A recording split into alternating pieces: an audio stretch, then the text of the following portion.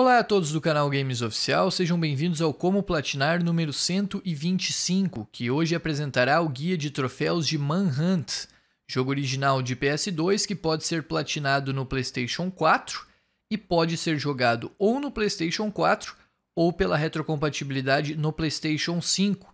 Cabe aqui um alerta: na retrocompatibilidade do PlayStation 5 haverá alguns problemas na apresentação do jogo, luzes que ficam piscando, textos que ficam apagados. Então, se você tiver as duas opções, prefira jogar no Play 4, porque ali é sem problema algum a experiência mais próxima do PlayStation 2 e ela vem sem estes erros. O tempo para platinar um Manhunt gira em torno de 30 horas e a dificuldade, na minha opinião, fica em uma escala 6 de 10. Gostaria de agradecer aqui no início do vídeo também ao César Meira, que me deu muitas dicas na experiência e me recomendou o Manhunt há alguns anos, demorei até jogar, mas agora em 2023 finalmente iniciei e fiz essa platina. Caminho sugerido para você conseguir todos os troféus. Inicialmente, zere o jogo no Fetish, que é o normal, conseguindo as 4 estrelas para cada uma das 20 cenas, 80 estrelas no total. Depois disso, sabendo como o jogo se estrutura, tendo aí essa experiência prévia, zere novamente, agora o jogo no hardcore, com 5 estrelas para as mesmas 20 cenas, obtendo no final 100 estrelas no total. Por fim, faça os troféus de miscelânea para aí finalmente pipocar a platina. Não existem troféus perdíveis, mas será preciso zerar duas vezes, aquilo que nós falávamos alguns segundos atrás, porque os troféus de dificuldade não são cumulativos. Então não adianta zerar o hardcore e esperar ganhar os troféus correspondentes ao fetish, porque ambas as dificuldades se organizam dessa maneira separada. Como sempre, o nosso como platinar estará estruturado por meio de capítulos. Na descrição você encontra o tempo de cada um deles e pode passar para momentos específicos aí, dúvidas que você porventura venha a ter. O primeiro capítulo se chama sobre o uso de códigos. Não é possível no Manhunt, esse é um aviso prévio, utilizar códigos nas fases bônus. Primeiro ponto.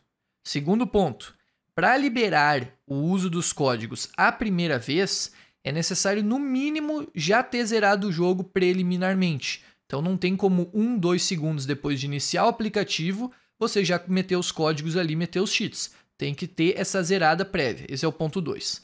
Quando você tiver feito isso, saiba que colocar os códigos não impede a liberação de troféus mas impede o salvamento do progresso no jogo. Situação hipotética aqui. Você completou uma das cenas utilizando códigos e obteve 5 estrelas na dificuldade hardcore. No final dessa cena, seja qualquer cena. Não é possível salvar esse seu progresso das 5 estrelas para a cena que você fez, mas enquanto o aplicativo do Manhunt seguir aberto, seguirá também registrado que Naquela cena feita, foram obtidas as cinco estrelas. Esse registro, esse painel, o quadro, só é perdido quando você fecha o jogo, fecha o aplicativo. Uma dica, então, existe uma maneira de burlar essa proibição que os códigos impõem ao save. Você joga com os códigos ativados, faz aí a sua sessão de gameplay normal, joga, sei lá, 4, 5 horas, o tempo que você quiser, o que você, até você se sentir satisfeito. Quando você quiser fechar o aplicativo e salvar, guardar os dados daquilo que você já fez, você volta ao menu principal, digita os mesmos códigos que ativou anteriormente, e aí esses códigos, ao serem digitados uma segunda vez, estarão desabilitados. Desabilitando os códigos, o jogo volta a permitir que você efetue saves. Assim, você pode selecionar qualquer cena e na primeira oportunidade de um checkpoint, aquelas fitazinhas VHS que tem lá, você chega, pausa e seleciona salvar. O jogo aí estará salvando tudo o que você fez nessa sessão desde que abriu o aplicativo, inclusive a parte com o uso de códigos. A melhor dica é jogar a primeira fase, né? Born Again, que é muito fácil. Você chega ali em um minuto, um minuto e meio, salva o jogo e aí já resguarda aquilo que foi feito. Eu não utilizei saves enquanto eu platinei, porque essa, esse impedimento de salvar o jogo para mim é muito caro. Isso impacta no estilo, na forma como eu jogo. Como Manhunt, em grande parte das fases, utiliza o stealth, você colocar aí códigos como vida infinita não vai alterar tanto a dinâmica do stealth que você ainda pode ser visto. Existem alguns outros códigos que em breve a gente vai falar que podem auxiliar nessa questão de ser visto ou não Mas eu preferia ter a opção de salvar durante as fases, porque perceba bem, esse macete que a gente passou de salvar usando o código, ele só vai fazer o salvamento depois que você completar a cena, depois que você completar a fase. Não tem como salvar no meio dela enquanto você está com essas situações ativas, né, de vida infinita, seja o que for. Então eu preferia jogar limpo, sem nada, podendo fazer checkpoints durante as fases para que se eu fizesse alguma cagada eu recorresse àqueles checkpoints, algo que quem ativar códigos não vai poder, vai ter que jogar a fase do início ao fim, depois desativar o código e salvar em algum outro momento. Espero que essa nossa explicação tenha ficado clara, que eu tenha conseguido me fazer entender aqui. Pois bem, indo para a prática. Para ativar os códigos, é preciso fazer essa digitação no menu principal e também, anteriormente, completar alguns requisitos. Ativando um código, o jogo emite um som de notificação e é assim que você sabe que esse código estará então ativo. O único dos cheats que é uma exceção a essa questão do som de notificação é o God Mode, ele é silencioso. Alguns códigos que podem lhe auxiliar: invisibilidade. Para liberar a invisibilidade, o primeiro passo é completar com 5 estrelas, ou seja, na dificuldade hardcore, as cenas 17 e 18. O código de invisibilidade para você colocar no menu principal será quadrado, quadrado, quadrado, para baixo, quadrado, para baixo, bolinha para cima. Existe também o código de silêncio, que faz com que o Cash, protagonista do Manhunt, se movimente fazendo menos barulho. Para liberar ele, digitar no menu principal, você tem que completar as cenas 3 e 4 com 5 estrelas. O código é R1, L1, R2, L1, direita, esquerda, esquerda, esquerda. Por fim, o último código que eu separei é o mais usual, que os jogadores costumam utilizar no Manhunt, o God Mode. Para liberar ele é o mais simples. Zero o jogo a primeira vez, pode ser em qualquer dificuldade, com um número qualquer de estrelas. No menu principal você vai digitar para baixo, para baixo, círculo, para cima, quadrado triângulo, quadrado R2, para cima para cima L1 triângulo. O cache vai ficar com vida infinita. Repare, esses códigos só podem ser utilizados depois de já ter zerado o jogo a primeira vez. E lembre-se, se for preciso, volte o vídeo do nosso Como Platinar de todo aquele nosso discurso sobre salvamento. Enquanto o código está ativo durante as fases, você não pode salvar o jogo depois de completar uma fase, no menu principal você pode desativar o código, acessar então qualquer uma e no primeiro checkpoint fazer o salvamento para registrar o seu progresso. Este é o nosso capítulo concernente então às manhas, aos cheats, aos códigos que podem sim ser utilizados para liberar troféus em Manhunt. Segundo capítulo do Como Platinar, detonado no Fetish e Hardcore com todas as estrelas. Aí você vai ganhar os troféus 5 Star Freak, correspondente ao Fetish, e 5 Star Fiend, correspondente a 100 estrelas do Hardcore. Aqui no nosso canal nós fizemos um detonado com 80 estrelas, o número máximo, para dificuldade Fetish, e 100 estrelas, número máximo, para o Hardcore. Eu irei deixar ele na descrição, acesse-o. Cara, eu posso ficar falando aqui por horas e horas, mas não tem como substituir um vídeo que joga do início ao fim o Manhunt nessa dificuldade fazendo todas as estrelas. Então lá você vai ter 3 horas e meia com todas as cenas e eu falando tintim por tintim como você faz para conseguir gerar essas estrelas. De uma forma resumida, contudo, que eu posso trazer aqui no guia, obter estrelas requer ter um tempo durante essa feitura, durante o seu gameplay das fases. Então você vai ter que completar a cena dentro de um time trial ter também nela um número de execuções e um número de assassinatos determinados. Uma hunt se divide em execução, que é quando você pega o inimigo por trás, no stealth, e daí tem uma, uma ceninha, uma animação ali brutal em que você o mata, e assassinatos, que aí são mortes com corpo a corpo, com armas, são mortes geralmente em combate quando o inimigo já está alertado. Difícil fazer assassinatos em stealth. Em stealth costuma-se fazer execuções. E esses três requisitos compõem então no final o seu painel de estrelas. Agora na tela tem uma tabela passando com os números sugeridos para você buscar em cada uma das cenas e obter o número máximo de estrelas. Nenhum dos requisitos particularmente é difícil. E tanto para o Fetish quanto para o Hardcore, eles são os mesmos. A única diferença que eu senti é que no Hardcore não haverá mapa Isso impacta no gameplay? Sem sombra de dúvida. Você não vai saber onde estão os inimigos. Ali no canto inferior esquerdo, o Fetish te traz essa colher de chá. Você a todo momento vai conseguir ver se tem alguém perto ou não. No hardcore tem que decorar a localização dos inimigos. Mas depois que você zera a primeira vez, isso já vai estar ali meio que salvo na sua mente. Adote essa tabela que está passando na tela, como eu falei agora, com a expressão sugestiva. Você não vai estar querendo seguir aquilo ali como uma tatuagem, assim, arrisca sem fazer nada de diferente. Não é isso, cara. Por vezes, você pode fazer um assassinato a mais do que uma execução, na comparação com o número que está na tabela, e ainda assim obter as estrelas máximas. Depende muito do grau da execução que você vai conseguir. As execuções do Manhunt, quando você está mirando no inimigo segurando o quadrado, elas vão ser brancas, amarelas e vermelhas. Sempre, sempre, sempre, sempre as vermelhas dão mais pontos do que as amarelas e as amarelas dão mais pontos do que as brancas.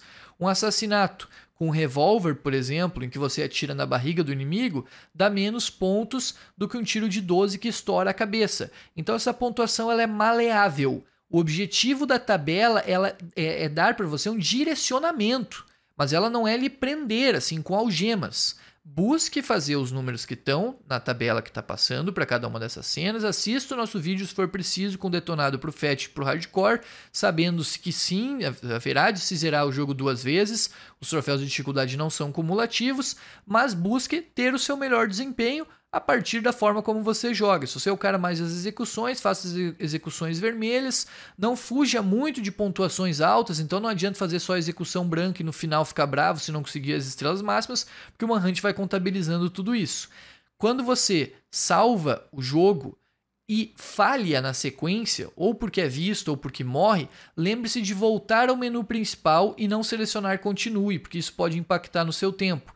Eu salvava a todo momento que era possível. Então, se na primeira fase havia ali dois checkpoints, dois momentos save, eu salvava, mesmo que seja a primeira fase, uma fase mais facilzinha. Se eu cometesse algum erro no, no stealth, voltava para o menu principal para economizar tempo e recarregava aquele save de novo. O Manhunt não é um jogo difícil se você utilizar os seus saves. Você não vai precisar jogar uma fase de 15 minutos direta sem errar. Você vai jogar ali no máximo uns 3, 4, 5 minutos e aí depois de salvar o jogo você vai se dar esse luxo de poder voltar àquele ponto seguro, caso você cometa algum erro. E esses saves então é uma maneira também de você facilitar a sua experiência. Atenção ao próximo capítulo do Como Platinar.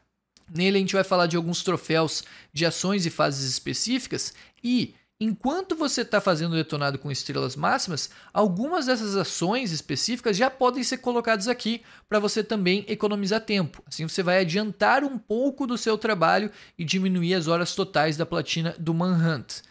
Capítulo Troféus de ações e fases específicas. Na primeira fase, Born Again, você pode conseguir no mínimo 4 troféus. He Never Saw It Coming é o primeiro. Realize uma execução gruesome, o mais fácil, talvez, dos troféus do jogo. Você chega por trás do primeiro inimigo, isso aqui é um tutorial, cara. Você só não vai fazer se não quiser. Pressiona o L1 e depois, quando o braço do cache estiver estendido para o alto, segura o quadrado até a mira ficar vermelha. Quando a mira ficar vermelha, você tira o dedo do quadrado e o cache vai fazer uma execução, aquela que a gente estava mencionando agora que dá mais pontos para você conseguir as estrelas no final, uma execução gruesome. Com isso, o troféu será seu. Próximo troféu ainda na fase Born Again. Are You Afraid of the Dark? Esconder um corpo nas sombras. Também não precisa ser feito apenas na fase 1, mas aqui é a sua primeira oportunidade. No segundo inimigo já do jogo, depois de você executar, aproxime-se do cadáver que está caído no chão, pressione o triângulo. O Cash vai colocar o corpo nas costas.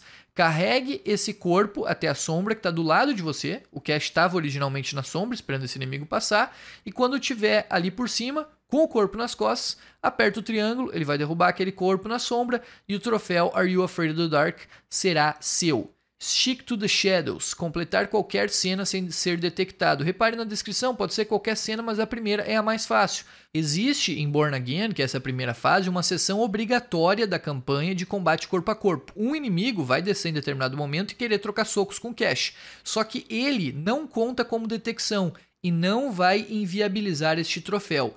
Quanto aos demais, tirando esse pontinho da fase, todos devem ser mortos sem ter visto o cache. No canto inferior direito tem um boneco que quando você está fora de sombras fica branco, quando você está em sombras está azul e quando você é detectado pisca em vermelho. Ele não pode piscar em vermelho em nenhum momento da fase, a não ser quando o jogo te derruba um inimigo para jogar no corpo a corpo. E é um momento, como eu disse, obrigatório, mas que não vai impactar para conseguir o Stick to the Shadows. De resto, jogue sem ser detectado para conseguir liberar. Drug Free is the way to be.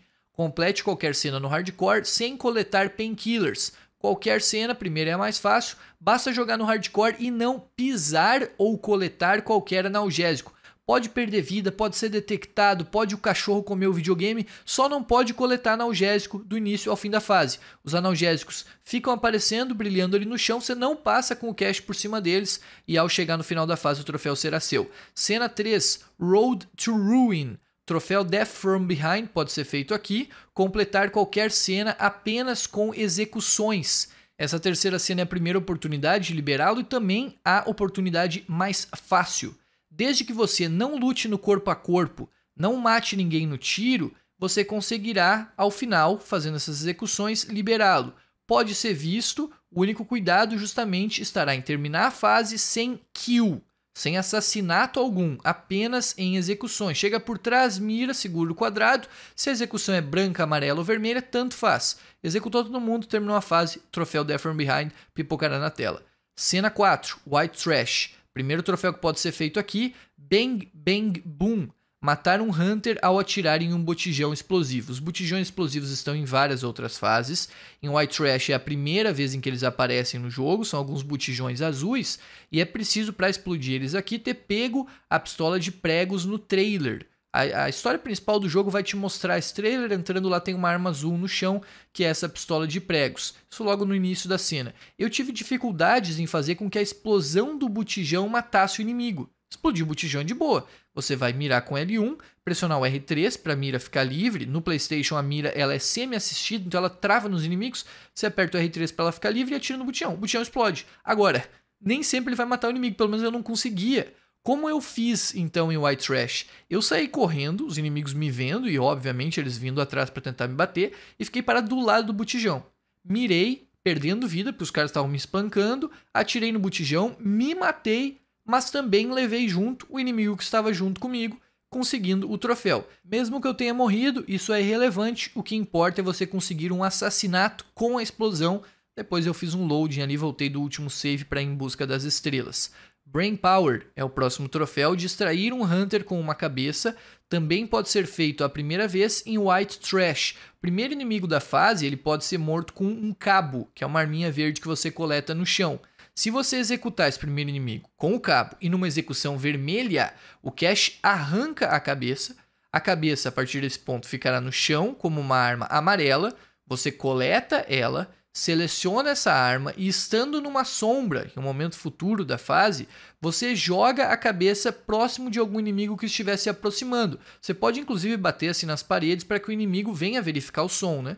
Jogando essa cabeça e o inimigo investigando ela ao chão, o troféu pipocará para você. Não precisa matar o inimigo, nada. É uma questão dele com a cabeça. Se ele viu a cabeça, se ele ficou alerta por ela, você conseguirá, conseguirá o Brain Power. Cena 5. Feel by Hate. Dois troféus podem ser feitos. O primeiro é No Crane, No Gain. Esmagar um Hunter com um refrigerador. Obrigatoriamente nessa fase Feel by Hate, haverá um momento que você vai trazer gasolina para um guindaste e depois vai controlar esse guindaste para levantar um refrigerador. Você usa o analógico esquerdo para controlar o próprio guindaste e o X para controlar o imã que é que puxa e solta o refrigerador. Você vai puxar esse equipamento com X, girar o analógico esquerdo, esperando os inimigos, os hunters aparecerem, e depois posicionar o refrigerador por cima dos hunters. Quando estiver bem alinhado, cara, não tenha pressa, não se afobe, deixa alinhar bem, aperte o X. O refrigerador vai cair, se cair em cima do inimigo, pode acontecer duas coisas. Ou ele morre ou ele fica vivo. Não é piada, cara, eles são bem, bem resistentes aqui ao refrigerador. Se ele ficar vivo, não precisa voltar checkpoint, fechar jogo, nada. Você vai com o guindaste de novo, analógico esquerdo, X, levanta o refrigerador e vai derrubando, até conseguir matar. Eu mata, matei ele na sequência quatro Hunters. Vem quatro na sua direção nessa primeira sessãozinha do, da fase Feel by Hate. E eu matei os quatro com o refrigerador. No primeiro troféu já pipoca, só que eles não morrem assim de primeira, então você vai ter que levantar várias vezes ali o refrigerador. Se tiver sorte, você já mata na, na primeira tacada, mas é um pouquinho complicado. Não desista, levantando e derrubando ali, eventualmente pipocará o No Crane No Gain. Próximo troféu, Off With Their Heads. Execute 20 Hunters em uma cena.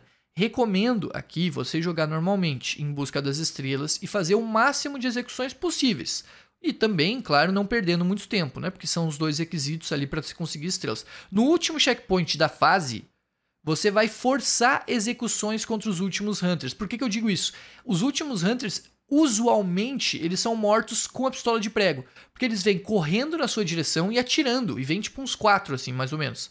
Se você tiver pistola de prego, o que você vai fazer? Mirar na cabeça e atirar. Só que para conseguir as 20 execuções na cena, você corre de volta para o mapa de onde você veio, fazendo com que esses hunters alertas venham lhe investigar, se escondam em uma sombra e aí, a partir daquele ponto, você pega um a um na execução pegando eles escondidos ali para somar mais execuções. Na parte inicial da fase, antes, aqui nós estamos de novo no último checkpoint de Feel Hate, estava dizendo agora há pouco. Na parte inicial, você já somou algumas execuções. Você vai somar agora o suficiente para fechar as 20. São algumas poucas ali, com 3, 2, 4, daqui a pouco você fecha, dependendo de como você jogou o início, né?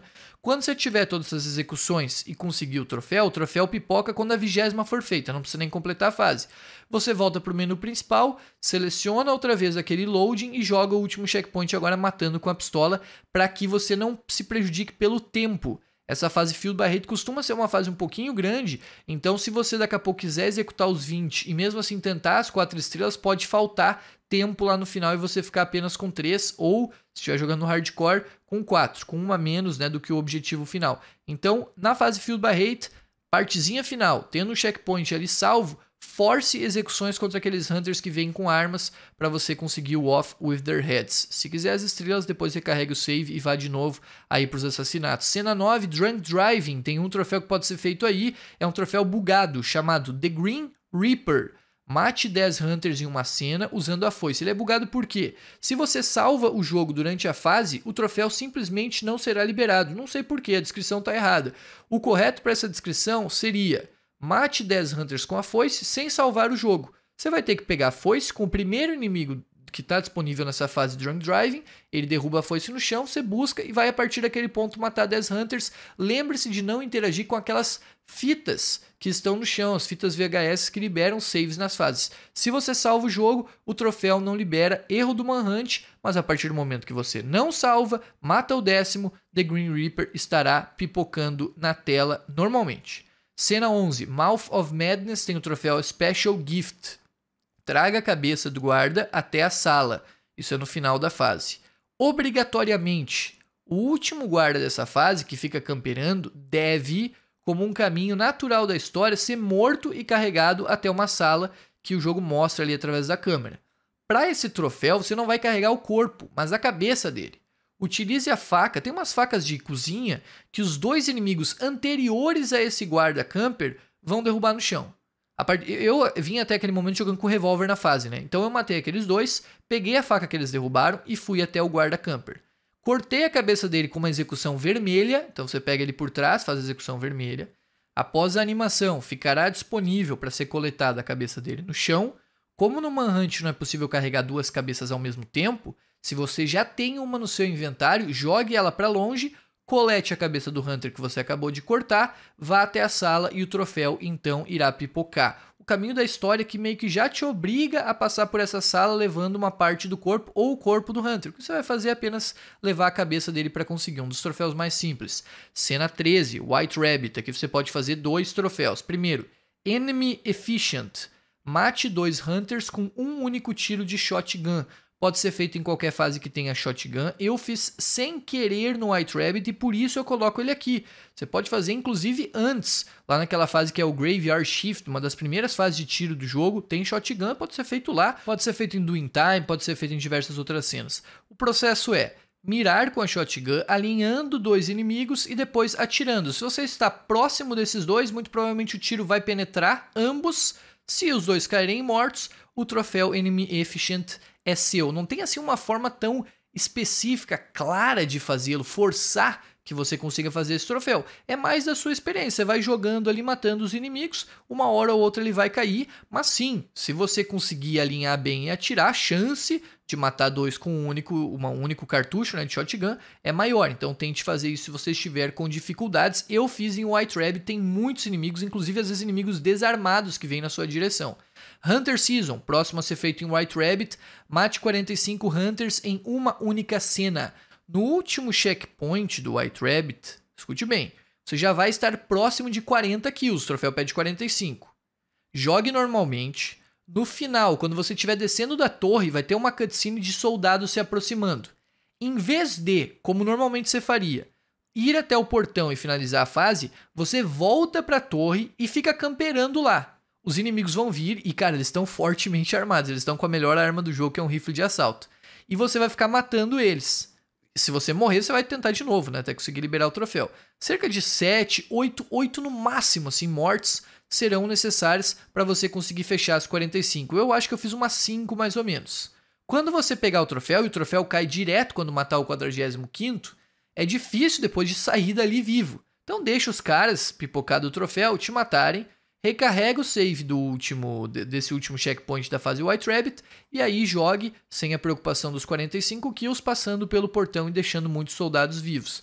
Para o Hunter Season, White Rabbit é, sem sombra de dúvidas, a melhor opção, jogando duas vezes esse finalzinho, guarde o save, faça a primeira vez para buscar é, as 45 mortes e depois simplesmente fuja lá no final para conseguir o número adequado de estrelas e a sua sobrevivência. Que lembrando, esses soldados aí são meio chatos de matar, os caras são um pouco fortes. Cena 15, Press Coverage, vai ter o troféu Pink Mist, conseguir um headshot com uma sniper.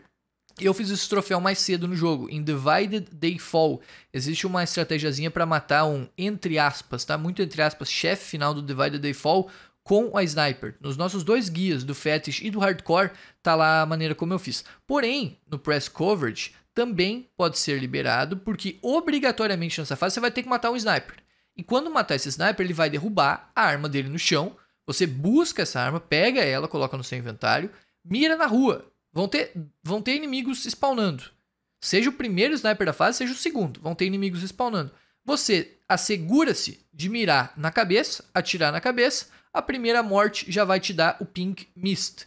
Pode matar com um tiro no corpo para a sequência da fase de boa, mas para esse troféu tem que ser um headshot. Você faz o zoom in e o zoom out, aumenta o zoom e diminui o zoom com o analógico direito. A questão da mira é como qualquer outra arma, mas o zoom eu tive dificuldade primeiro jogando Manhunt, analógico direito. Cena 20, finalmente, Deliverance. Troféu Subbo Slaughter pode ser feito aqui. Execute um inimigo com a serra elétrica. Após liberar a motosserra do Pixie, que é o primeiro chefe da fase, aproxime-se por trás de algum inimigo. Você vai ter ali em torno de três que vão estar tá, é, circulando em uma área procurando por você. Você mira com a, com a serra elétrica equipada, carrega uma execução segurando o quadrado. Pode ser qualquer execução, o troféu vai pipocar quando a animação estiver em tela. Importante para a serra elétrica é você não deixá-la ligada.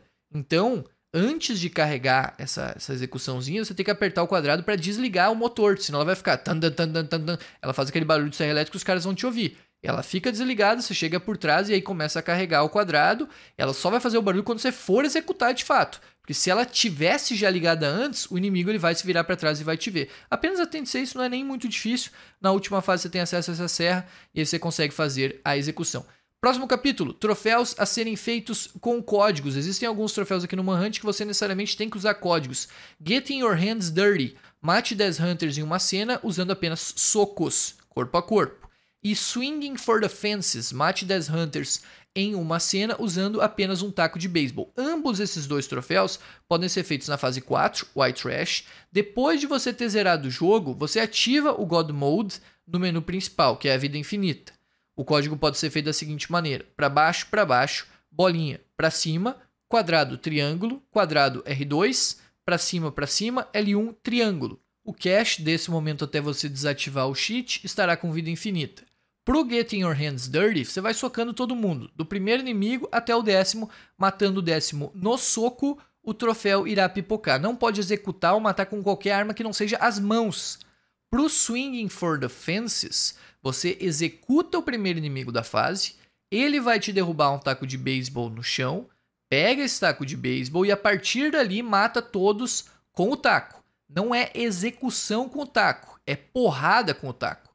Então você vai chegar nos inimigos, eles podem ser alertados e tal, e vai descendo o cacete até conseguir matar o décimo. É kill, não execução nos dois casos. Pro Getting Your Hands Dirty, com as mãos, no Swing for the Fences, com o taco. Ative o God Mode para ficar com vida infinita, mas lembre-se que não é possível salvar o jogo enquanto estiver com os cheats ativos. Você só quer liberar o troféu, depois pode fechar o aplicativo do Manhunt sem problema nenhum.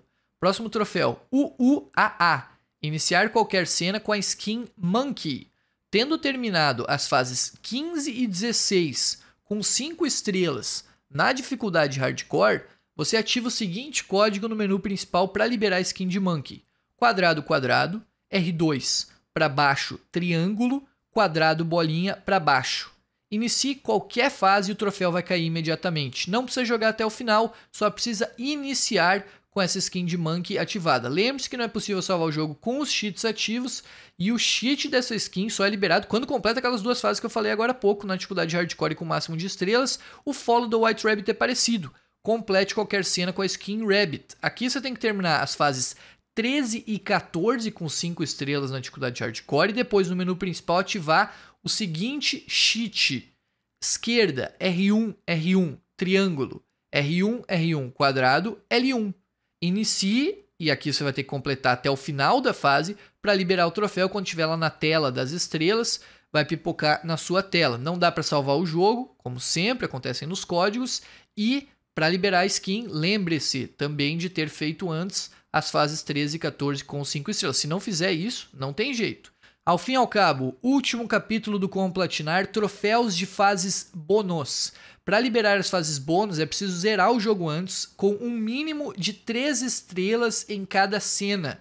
Recomendo selecionar a dificuldade Fetish no menu antes de acessar os bônus, para que você tenha o um mapa na tela. E lembre-se que nos bônus não tem como colocar código, mesmo que você já tenha liberado. Se ativar no menu principal, eles não ficarão efetivos para as fases bônus. Primeiro troféu, Fun with Fistcuffs. Sobreviva até que 30 Hunters tenham morrido em Brawl Game. Essa fase Brawl Game vai te liberar esse troféu. Esse é o mais fácil de todos das fases bônus, basta você ficar correndo em volta da quadra, como o clipe aí no fundo da tela está mostrando. Você deixa que os inimigos se matem entre si, até fechar a quantidade de 30. A cada 10 mortos, um painkiller cairá nas margens da quadra para você, se precisar, recuperar sua vida. Próximo troféu, Line 'em Up Knock 'em Down. Mate 30 Hunters em Hard as Nails. Existem três pontos em que spawnarão munições para sua pistola de pregos, que vai ser a arma que você vai utilizar para matar esses Hunters. Talvez você conheça o cenário do Hard as Nails como o equivalente ao da terceira fase principal, da terceira cena da campanha. De tempos em tempos, vá nesses pontos buscar munição para repor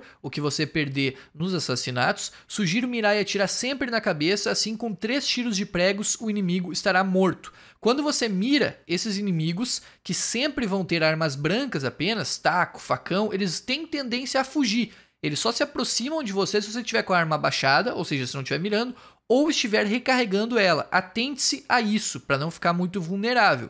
Evite entrar no meio de grandes bolos de pessoas, de grandes grupos, porque os inimigos são implacáveis com socos. Às vezes, cara, às vezes um inimigo te pega e começa a soquear e o cash não consegue sair. Ele vai levando socos e fica preso ali. E assim você vai perdendo bastante vida. Tem que matar 30 para conseguir o troféu.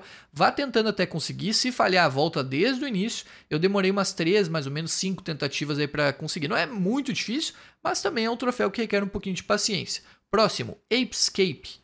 Escape do zoológico vivo em Monkey See, Monkey Do. Esse é um dos mais difíceis das fases bônus. Você precisa simplesmente completar a fase. É só isso, entre aspas, né? Só. Não existem saves e checkpoints. A arma dada pelo jogo é uma shotgun. Distancie-se dos inimigos que se aproximarem correndo com os facões. Em geral, a grande maioria dos inimigos tem shotgun. Para esses, você toma a cobertura e vai pegando um a um, jogando com calma. Não há limite de tempo ou exigência aqui para estrelas. De novo, eu demorei aí umas 3, 5 tentativas até conseguir. Quando tiver oportunidade, na fase vai ter um ponto que você pode trocar sua shotgun inicial para uma outra shotgun. Faça isso. Você troca a Double Barrel por uma shotgun um pouco mais parruda. Essa segunda shotgun ela tem uma precisão melhor de tiros e alcance maior. O dano dela também é um pouquinho mais alto. Então procure trocar porque vai facilitar na reta final da fase. Se morrer, Ou se, sei lá, der qualquer zebra, você vai ter que voltar do início. E é uma fase meio chatinha, tá? Eu diria que das bônus aí, como eu mencionei mais cedo, talvez seja o troféu mais complicado do Escape. É só completar, mas para completar você tem que sair vivo do zoológico. You're Going Nowhere é o último troféu. Mate todos os Hoods em Time to Die em 7 minutos ou menos. Dica importante, falei na introdução aqui dos troféus bônus. Ative a dificuldade Fetish se você já não fez isso nas configurações, para que você tenha o um mapa no canto esquerdo da tela. Isso vai te dar a localização dos inimigos em uma fase que é praticamente toda baseada em stealth, facilita horrores. Existem inimigos em três lugares: no chão, isso é, no primeiro andar, nos telhados dos prédios, você pode acessar esses telhados através das escadas, e dentro de um galpão. Para entrar no galpão, você vai precisar quebrar uma corrente, e essa corrente só pode ser quebrada com uma arma que é a crowbar. Na, na campanha você já deve estar tá careca de saber o que é crowbar, uma arma azul e tal. Na segunda fase, inclusive, ela é obrigatória para você concluir. Essa crowbar está em um dos inimigos no telhado. Seja rápido, não se apegue aqui em fazer um stealth perfeito, por isso que o mapa te ajuda. Você vai trazendo os inimigos e vendo mais ou menos onde eles estão. Vou deixar um vídeo na descrição para lhe ajudar a fazer essa fase. Se você priorizar abrir o galpão primeiro, lá dentro tem uma serra elétrica. Com a serra elétrica, você vai conseguir serrar, passar a faca nos inimigos e ter uma morte mais rápida deles. Aí sim, com a serra elétrica, você pode bancar o Rambo, cara. Sair completamente sem stealth, matando, matando todos eles com as lâminas. Fica bem mais fácil. Seu tempo total da fase tem que ser em 7 minutos ou menos, então esteja atento também ao relógio que vai estar cronometrando o seu desempenho. Na descrição tem o detonado dessa fase, não foi gravado por mim, eu apenas joguei fora do ar nesse caso aqui. Obrigado a quem nos acompanhou com esse guia de troféus de Manhunt. Lembre-se que nós publicamos aqui no canal para o máximo de estrelas no Fetish, para o máximo de estrelas no Hardcore. Isso também pode ser um bom material de apoio, estará na descrição a este como platinar. Boa sorte na experiência de um dos jogos mais memoráveis de PS2, pelo menos para mim foi assim. Joguei pela primeira vez em 2023 e gostei bastante. Fiquem bem, obrigado e até a próxima!